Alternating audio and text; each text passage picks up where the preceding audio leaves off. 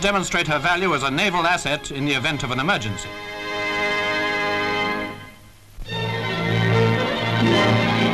People think of racing in terms of the Derby and the National. Well, don't forget the smaller meetings like this point-to-point -point at Cottenham near Cambridge. You have to be prepared for the worst. After all, it isn't far removed from hunting.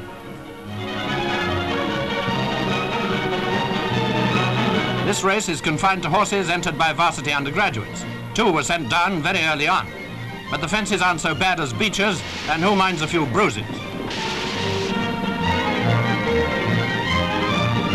Yes, Cottenham's one of many similar courses throughout the countryside, and these are the meetings where you may well find that future national winner.